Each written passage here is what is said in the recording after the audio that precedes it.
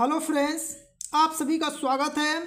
Friends, आज आप सभी को कक्षा दस सामाजिक विज्ञान का आपको कापी दिखाने वाले हैं और साथ में मानचित्र के भी कापी दिखाने वाले हैं कि टॉपर ने बोर्ड के एग्ज़ाम में कैसे अपने कापी को लिखा और कैसे मानचित्र को भरा, जिससे उसको बोर्ड के एग्ज़ाम में सामाजिक विज्ञान के पेपर में सत्तर नंबर में उसे अड़सठ नंबर मिला है।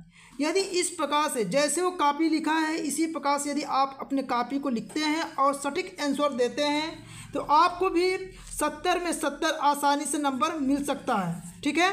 तो आप इस कापी को देख लीजिए और कैसे लिखा है, कितने साफ़ सुथरा से और कितने राइटिंग से लिखा है, उसको देख के आप इसी प्रकार से बोर्ड के एग्ज़ाम में अपने कापी को लिखने का प्रयास कीजिएगा।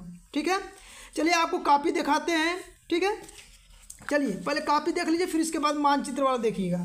देखिए, पहले यहाँ पे क्या करना था, जो खंड कर रहे हैं, वो खंड आपको लिखना रहता है, फिर प्रश्नोत्तर संख्या आप स्केच से या काला पेन से आप डाल लीजिएगा। डालने के बाद जो प्रश्न पूछता है, उसको खूब हेडिंग बनाइएगा। हेडिंग बनाने के बाद इसको स्केल से इस प्रकार, देखिए कितना सीधा लाइन एकदम खींचा है, एकदम खींचा लाइन ना। इस पर देखिए इसको पूरा टोटल ये प्रश्न चार नंबर का था, पूरा टोटल इसको चार नंबर मिला है। अगला प्रश्न देखिए। अगले प्रश्न को लिखने के लिए प्रश्नोत्तर संख्या दो डाला है। फिर इसके बाद क्या है कि यहाँ से स्थानीय सरकारों के जो महत्व है, फिर इसके बाद स्केल से देखिए, एकदम सीधा लाइन खींचा है। लाइन खींचने के बाद इसको पॉइंट वाइज किया है। देखिए, इसके जो पॉइंट वाइज यदि आप करके एग्ज़ाम में एक एक लाइन देखिए, यहाँ पे एक लाइन कंप्लीट हुआ है ये वाक्य कंप्लीट हुआ तो एक लाइन छोड़ दिया है। फिर क्या? दूसरा पॉइंट फिर इसके बाद तीसरा पॉइंट इस प्रकाश किया था। देखिए, पूरा इस पर इस प्रश्न को इसको कितना नंबर मिला है? टोटल चार नंबर मिला है, ठीक है? अब अगला देखिए कैसे उसने लिखा है। एक नंबर भी देखिए प्रश्न में नहीं कटा, इसी तरह आप बोर्ड के एग्ज़ाम में कापी को लिखिएगा।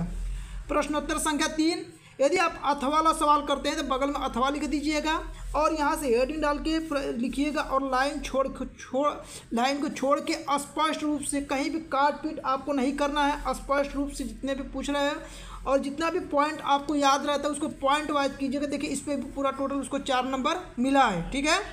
देखिए, अगला पेज देख लीजिए, ठीक है? ये देखिए, प्रश्नोत्तर अथवा में जब भी अथवा वाला प्रश्न करना है तो यहाँ पे आप अथवा लिख दीजिएगा और स्केल से सीधा लाइन खींचिएगा, ठीक है? पूरा देख लीजिए कापी एकदम। इसी प्रकार से आपको लिखना है। अभी मानचित्र वाले भी आपको दिखा रहे हैं कि मानचित्र वाला कैसे करना है। देखिए, यदि आपको सन आएगा तो सन को क्या कीजिएगा? आप ब्लैक पेन से इसको लिख दीजिएगा मतलब घेर दीजिए। और इसके महामंदी के कारण पॉइंट वाइज और एक एक वाक्य पूरा होगा तो वहाँ पे क्या करना है? आपको एक एक लाइन छोड़ के लिखना है, जिससे कापी देखने में सुंदर लगेगा, ठीक है? देखिए यहाँ पे। और जहाँ पे प्रश्न पूरा होगा तो इस तरह आप लाइन, दो लाइन स्केल से खींच लीजिएगा, फिर अगला नंबर प्रश्नोत्तर संख्या छः डाला है, फिर इसके बाद देखिए, जैसे कापी लिखा, इसी प्रकार से आपको लिखना है। देखिए कितना सुंदर राइटिंग में पूरा लिखा गया है ना? इसी प्रकार से यदि आप लिखते हैं तो एक नंबर भी नहीं कटेगा, पूरा छः छः नंबर आपको एग्जामिनर देगा और आप को पूरा नंबर मिलने वाला है। तो जैसे आपको दिखाएँ इस प्रकार से आपको करना रहेगा। अब देखिए, मानचित्र वाले जो सवाल है, आपको कैसे, मानचित्र में आपको बस प्रश्न लिखते समय आप प्रश्नोत्तर संख्या है, यहाँ पे नाइन बी का वन नाइन बी का टू ये लिखिएगा। देखिए, प्रत्येक प्रश्न पे एक एक नंबर उसको मिला है। जिस चिन्ह के द्वारा दिखाया है, इसी चिन्ह के द्वारा आपको दिखाना रहता है। सवाल में दिया रहता है कि कौन सा चिन्ह से आपको दिखाना है, इसी प्रकार से दीजिए। देखिए, पूरे पाँच नंबर इस पर मिला है। अगला मानचित्र उसका देखिए।